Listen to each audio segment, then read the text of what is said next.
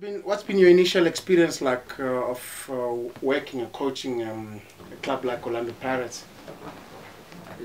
Yeah, before you come to Pirates, already when the offer came in, you always think about um, uh, about a club that has a, a pedigree, a pedigree of uh, of winning trophies, of being uh, uh, let me say a big club in, in African football, have the star on it. Uh, not many teams can show that. Um, and the 80 year, 80 year of you can see that it's a very uh, very old club. Uh, this year is the 80 year, and uh, so all in all, when the offer came, is you you need to think about what is your what can you add on? What is your value you can add, on to it? And uh, obviously that's not easy. And uh, it was a mixed feeling for me when the offer came in. Firstly, I know that how difficult it is to get a team um, uh, into a level to start playing the type of football that people want to see. Meanwhile, also uh, the type of football that people want to see and associated with, and to be have uh, been successful. So it is a it is a quite a challenge for me. And has anything surprised you in terms of the quality of the players and the general culture at the club? No, it won't surprise me because um, obviously I come also with my own decoration as a being experienced person in, uh, in three continents and coached before uh, big clubs uh, in continent and as well in South Africa.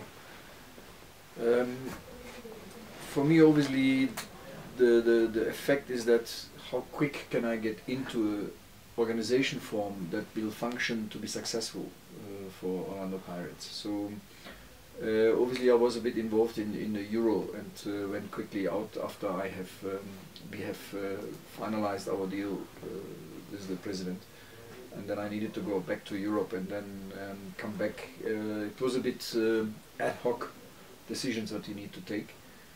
Um, but obviously, I have very experienced people there who who done the deal and done the, the, the, the, deals already before I came into the club, like players like Mobara, where like Riyaad Norodien. So it was actually there. It was presented to me, and uh, so here and there, then I needed to look into the team in the preseason, uh, and uh, had a quick discussion with the president. Uh, sorry, uh, to say for us it's important not to have that big club because uh, no big pro, um, big players in a way of of the numbers. Um, the best way is that you look to the Premier League, you have 25 plus 3. Uh, you have in the Bundesliga generally 22 plus 3. Um, so the numbers is very much important, otherwise you can't have a quality training session. So you, you need to look into the details more as uh, the volume.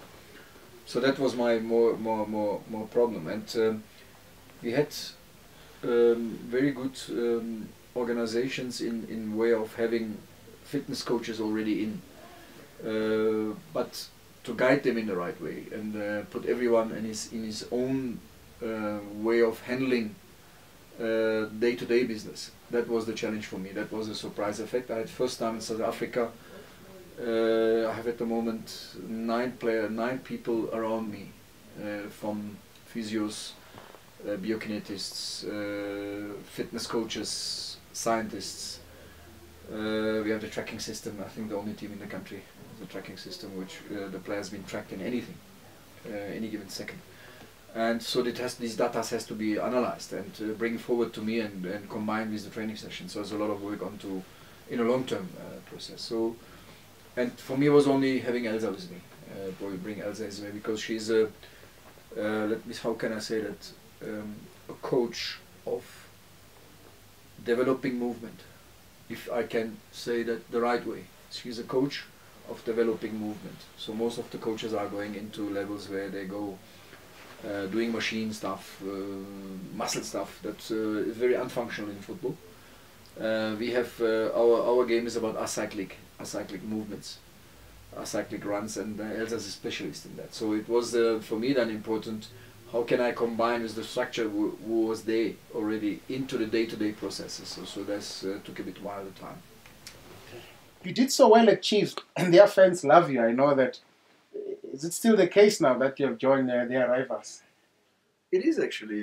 I must say that. Um, that, but it's not only. It was also when I was with Chiefs with Pirates fans. Uh, whatever the, the, the, the point was on that time, or it was. Uh, I think uh, people associated with that um, because I feel always a part of, of, of, the fans. I've been always been very open to the fans, and uh, obviously the degree of success what we had, and uh, the way um, maybe coaching. Uh, so it's not only it was already when I coached the, the Chiefs and, and twice uh, around six years it was also the Pirates fans was very uh, very let me say humanistic to my side or let me say fan uh, often. That uh, surprised me a lot because I come from Turkey uh, there is war. There is war between the, two big clubs. They, there are three big clubs actually and Galatasaray Fenerbahce Galatasaray. And oh I'm a, I'm a European and these guys are Asians, so we look to them to more uh, Asians, okay. and that's a really fight on it. And what are the targets that you have set for yourself for this season? Good word. Um, anything what is on the market, you need to play for. Um, I can set my target. You know me as a as a as a coach that want uh, always the degree of success. Success is means uh, to enrich the history of, of, of pirates we can do that um, because there's a rich history of uh, Orlando Pirates. So what can we do? How can we do? Or how can I get uh, value, add value into the to the club's history? That's the most important thing for us, and uh, that's only success, obviously. And um, it's not done by me; it's done by all those years now, 80 years of, of history, and um, it's always a privilege for a club coach uh, to be to be in a in a helm of a team like that. And are you happy with the size and the quality of the squad for this season? Um, yeah, look, uh, I need to go to that. Um, to that, uh, it's not nice. Uh, last season, the team was not successful for the brand. Um, the problem now is that coming into that, how quick can we adapt to, to the way, um, or how? Uh, now I will say that I will say that a little bit different. How can I adapt quick as possible to the material, to the player's perspectives what we have, to find.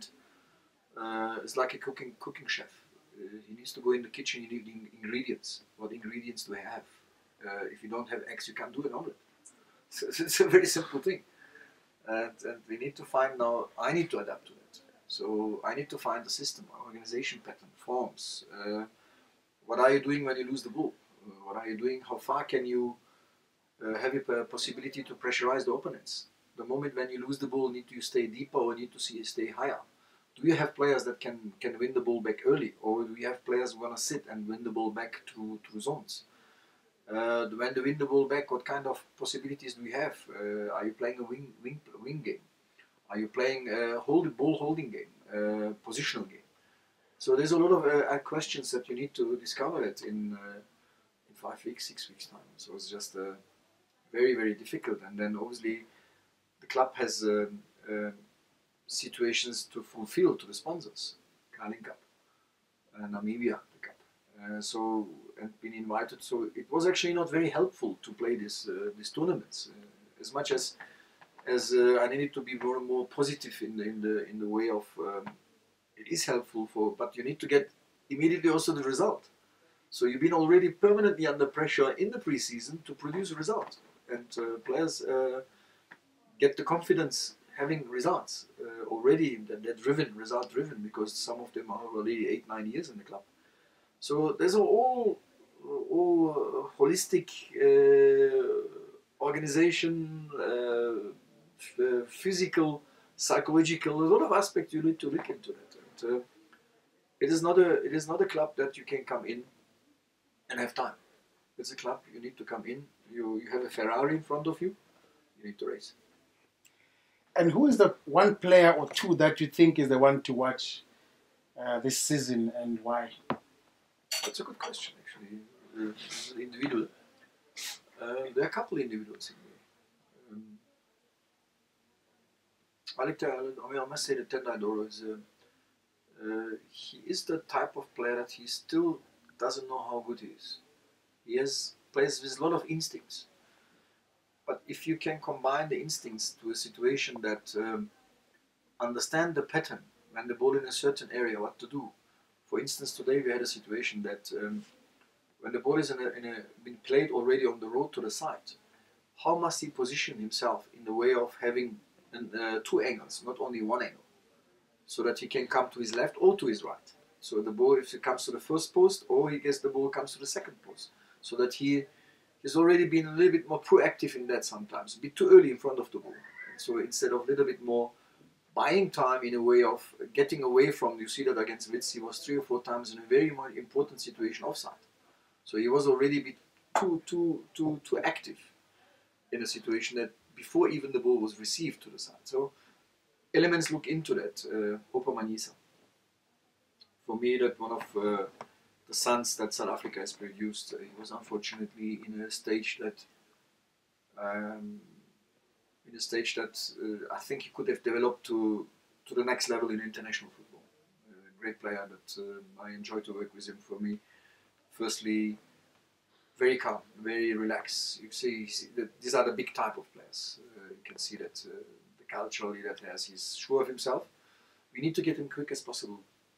That word fit I don't like, but powerful. Uh, that he can have time on the ball. Uh, at the moment he doesn't have time on the ball, he needs to catch up. Um, so he's 30%, 40% ready for me. So when he gets it, it's only 70, 80 percentages. I think uh, Oupa could be the season to be recognized. Uh, we have a couple of players, Makola. Uh, Mpho Makola is at the moment the Bafana Cup. Um, he understands the zones, he understands the lines from the opponents, when to go in, how to get in. Um, also with with a lot of instincts in there. If you can, let me say, minimize that and have me more education in that what he's actually doing. He does that um, instinctive uh, right, but sometimes you need you need more a little bit more knowing actually what's happening in the game so that you have a one it's like a chess game he's in a position as a, I call it number 10 um, he needs to be in the channel and in the windows of the opponent so in the lines of the opponent so the timing is very much important sometimes he marks himself I call that so he goes too quickly in a zone that he been in the, in the shadow of the opponents or been in the line of the opponents that when the ball receives to him he, uh, the, the uh, the opponent just steps out and have him. So he needs to understand those elements a little bit earlier, so before the ball comes to him, uh, so understand how to escape. Uh, a player like Iniesta is uh, somebody like that. In, we all know how, how he escapes in the zones. So Mpho sees that, uh, but he needs to realize that much more quick and handle it quicker. These are the elements that we need to work on it. I think these are these are the boys that really I enjoy to work with them because they're strategists. Uh, I also like very much Thabo Matlaba. Um, I wish I've, I wish I had him. Uh, I had him when he was 18. Uh, I enjoy to work day by day. We work with him. He's a he's a true professional. Um, very very high work rate ethic. He comes every day and works his his, his, his, his famous words, his socks off. Uh, unbelievable. Sometimes I just need to say say to him, relax a bit and go home. Uh, I, must, I must really say that he's, uh, it's, it's marvelous to work with him. Uh, if a coach thinks about and says to his player, hey, you're working too, too much, too hard. Uh, he is in the week between 25 and 40 kilometers in the week. That's a very high level in training sessions. And um, from that, from this 35 to 40 kilometer, there's a lot of high speed runs in the training sessions. So he's already overloading him in training sessions and we need to reduce that a bit uh, because otherwise, looking in through the season is going to be a problem for him. And the general standard of the league is it improving compared to the the time you first came in the country? No, it's not. Uh, it has improved. Um, yes, um, the coaches are getting educated. Um, the, the, the, improvement is here, physical. Uh, every team when I came in, I was the one who first started with a fitness coach in South Africa, if I'm not mistaken, and with a lady. Brought two ladies in, Adri de Jong and uh, Elsa Storm.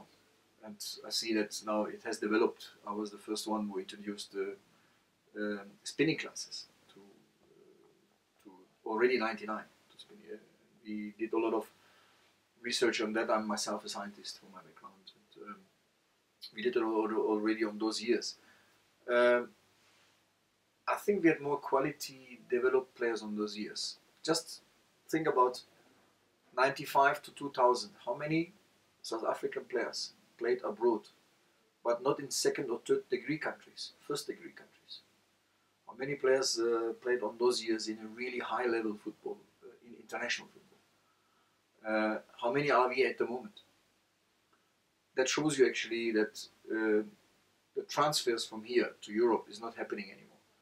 So then it com- comes to a level that already the financial part in South Africa has become and uh, has become a, a fantastic situation. This is, I think, one of the babies of uh, the president, uh, Mr. Irvin has done a lot, lot, and he wants this league to be very competitive. I think he has achieved that. Um, not only one or two teams. Uh, so anyone can beat anyone today. You see this season Chippa again. They, they, they're shining, they, they show. So there will be other Chippas. Uh, last season with us, with Black Aces. So myself being involved. Uh, previous years before I was involved with Ajax, built an Ajax that brand. Uh, I think I had a big percentage of it.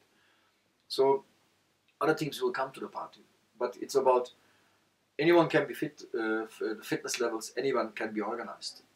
The, the facilities and everything in the, in the Premier League side is nearly everyone has a good facility when you look into that. The stadiums are fantastic. World Cup 2010 came here. So all these elements has the, developed to the to the football. Uh, let me say the product of PSL is, I can say that been uh, uh, coaching in, in world football uh, in, in three continents. I can say that the product of South African PSL is very high from the marketing.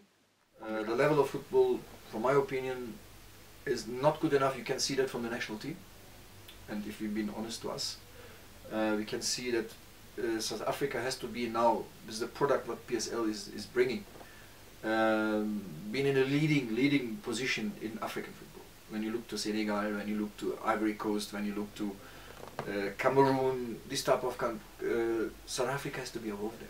These leagues are not competitive to that what is here. So and that we need to look into that from my side is the, the development of the youth structure. And that's always in my heart and always uh, um, it, uh, again, that should be not misunderstood. But I think um, when you look now to the international Bundesliga, the Bundesliga, when you look to every single team in the Bundesliga, you see from 18 year old boy to 23 year old boy playing in the Bundesliga week in, week out.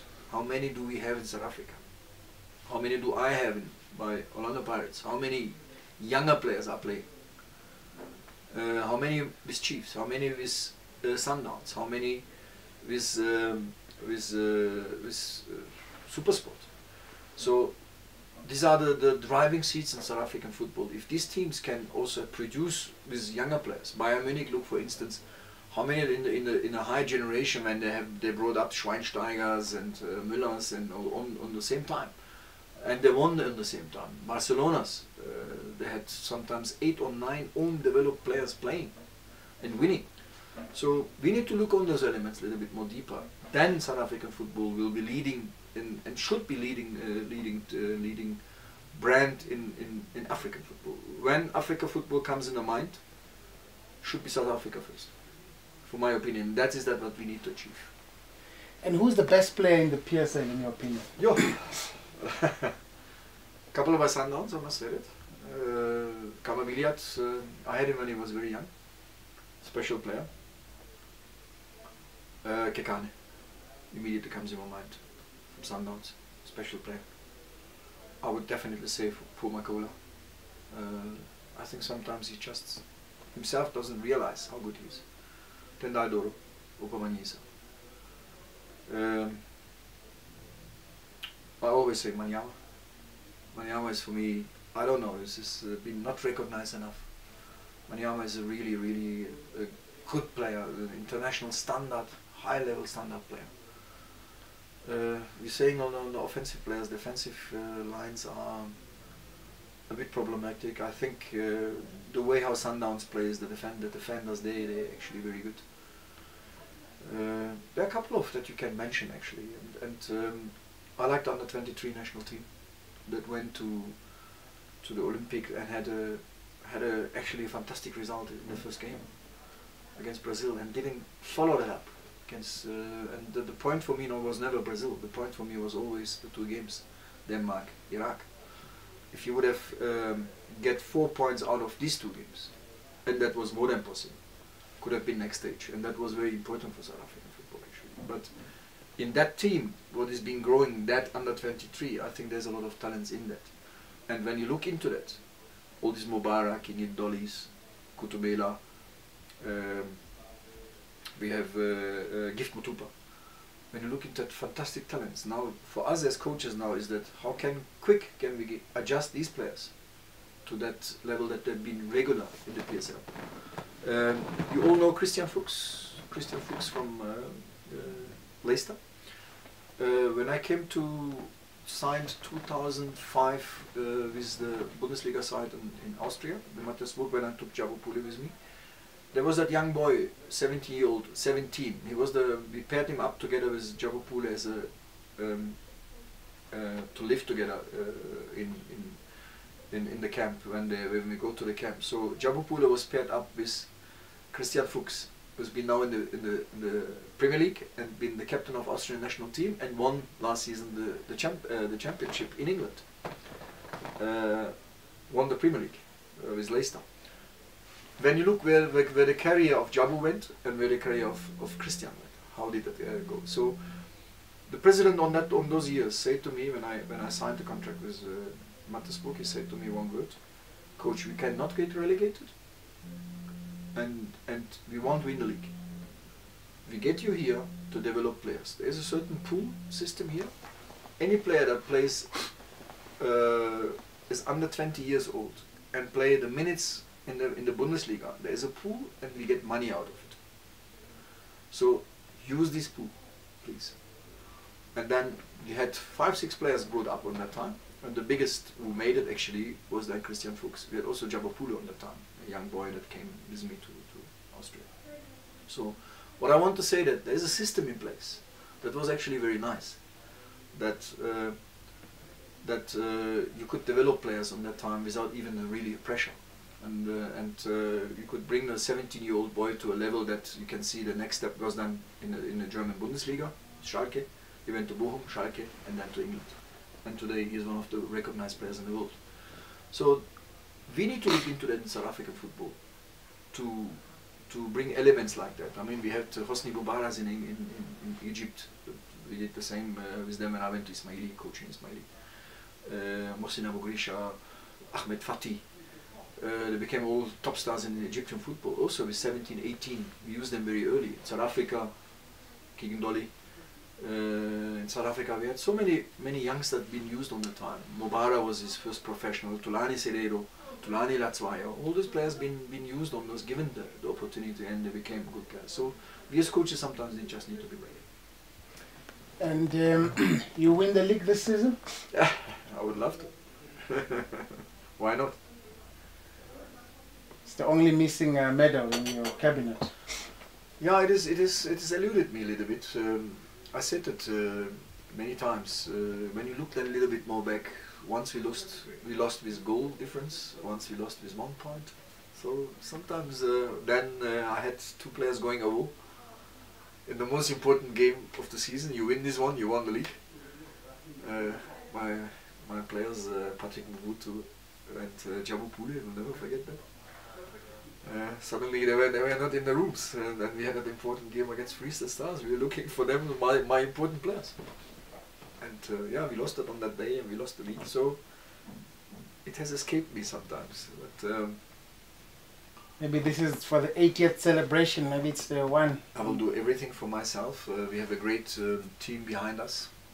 Um, I must say that uh, really, really capable people. Uh, we're looking into really uh, individual patterns. We look into to develop the players in a tactical part. We have a great analyst with us. So there's a lot of positiveness around us. It's about now how quick can we get the the situation in that we have, uh, let me say, an ongoing success. It will take time. Uh, I know that. I'm not uh, not romantic in that, but we we're making really step-by-step progresses. And, and, I think uh, what I like is that the players are taking it very seriously, and uh, that's the first step. Thank you very much.